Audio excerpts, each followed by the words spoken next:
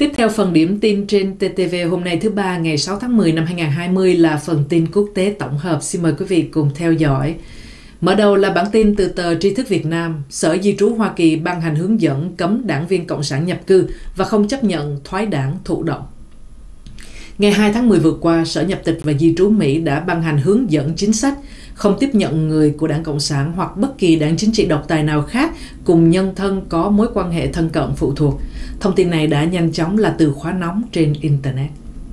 Hôm 2 tháng 10, Sở Nhập tịch và Di trú Mỹ đã ban hành hướng dẫn mới nhất trong sổ tay chính sách Sở Nhập tịch Di trú Mỹ liên quan đến việc không cho phép thành viên của một đảng Cộng sản hoặc bất kỳ đảng toàn trị nào khác được cấp thẻ xanh hay nhập tịch Hoa Kỳ. Theo hướng dẫn, cơ sở cho việc không chấp nhận đối với những người là thành viên hoặc có mối liên hệ với đảng Cộng sản hoặc bất kỳ đảng độc tài nào khác là một phần của bộ luật rộng hơn được Quốc hội thông qua nhằm giải quyết các mối đe dọa đối với sự an toàn và an ninh của Hoa Kỳ. Theo thông báo trên, Sở Nhập tịch và Di trú Mỹ, việc là thành viên của Đảng Cộng sản và bất kỳ đảng toàn trị nào khác không phù hợp với lời tuyên thệ nhập quốc tịch Mỹ và không thể đảm bảo sự ủng hộ và bảo vệ đối với hiến pháp và luật pháp Hoa Kỳ.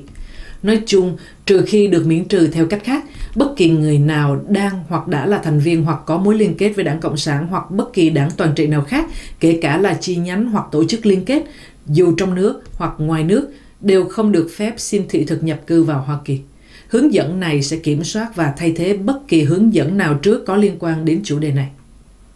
Sở Nhập tịch và Di trú Mỹ cũng cho biết cơ sở cho việc xây dựng chính sách này là một phần của một hệ thống luật do Quốc hội Mỹ ban hành nhằm bảo đảm an ninh cho nước Mỹ. Chính sách cũng chỉ áp dụng cho những người nước ngoài tìm kiếm nhân thân nhập cư, chẳng hạn như những người nước ngoài ở Mỹ muốn điều chỉnh tình trạng nhân thân để trở thành thường trú nhân.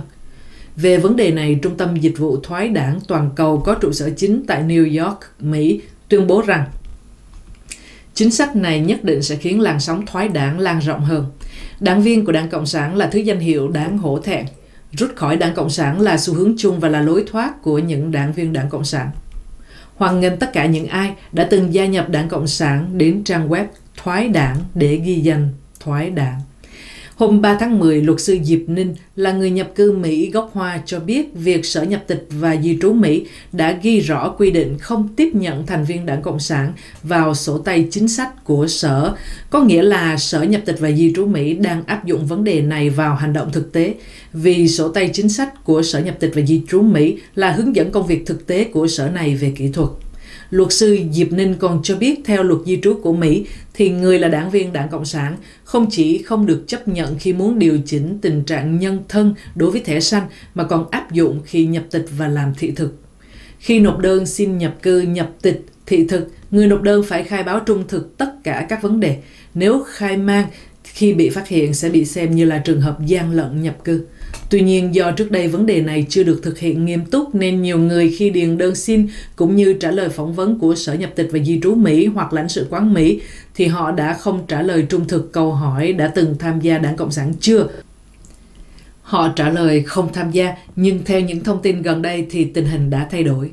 Luật sư Diệp Ninh cho biết Mỹ đã khởi động thi hành nghiêm chỉnh quy định không phê chuẩn đối với thành viên đảng Cộng sản. Những người đã vào đảng Cộng sản mà trả lời không tham gia như nhiều trường hợp trước đây vẫn có thể không may mắn vượt qua được thủ tục và hậu quả sẽ nghiêm trọng khi bị phát hiện gian dối. Nếu bị xác định là gian lận nhập cư thì sẽ vĩnh viễn không bao giờ được chấp thuận vào Mỹ. Ngoài ra, từ trường hợp cụ thể cũng cho thấy Sở Nhập tịch và Di trú Mỹ không chấp nhận thoái đảng thụ động không thể nói là đã lâu không đóng đảng phí hoặc là chưa có hoạt động trong tổ chức để chứng minh rằng bản thân không có tham gia đảng Cộng sản mà phải có bằng chứng chủ động thoái đảng. Luật sư Diệp Ninh cũng cảnh báo người nộp đơn ở Trung Quốc đại lục cung cấp cho các tổ chức Đảng Cộng sản Trung Quốc biết bản thân đã thoái đảng chắc chắn sẽ bị chính quyền trả thù. Vì vậy, cách tốt nhất và an toàn nhất là ghi danh thoái đảng tại Trung tâm Dịch vụ Thoái đảng Toàn cầu ở Mỹ.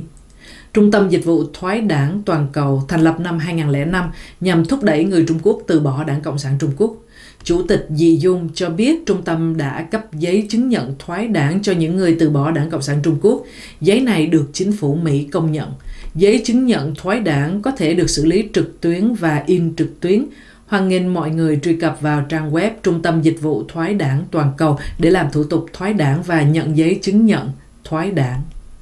Theo giới thiệu của trang web Trung tâm Dịch vụ Thoái đảng Toàn cầu, cách thoái đảng là đăng nhập vào trang web của trung tâm này và nhấp vào mục đơn xin cấp giấy chứng nhận thoái đảng trực tuyến, sau đó nhập tên ngày tháng năm sinh, nơi sinh và các thông tin khác tương ứng với hộ chiếu để có thể chứng minh rõ ràng bản thân. Bạn sẽ nhận được chứng chỉ điện tử file PDF. Mỗi đơn có một số chứng chỉ duy nhất là số nhận dạng và có thể được kiểm tra và xác nhận trên trang web của Trung tâm Thoái đảng. Mọi người có thể tự in chứng chỉ điện tử. Trung tâm Dịch vụ Thoái đảng toàn cầu cam kết về tính bảo mật của thông tin khi ghi danh trên trang web. Giấy chứng nhận thoái đảng được in có giá trị khi xin nhập cảnh cũng như khi nộp đơn xin nhập cư vào Mỹ. Đây là một chứng chỉ có uy tín hỗ trợ chứng minh rằng bạn tự nguyện từ bỏ hệ thống tổ chức Đảng Cộng sản Trung Quốc.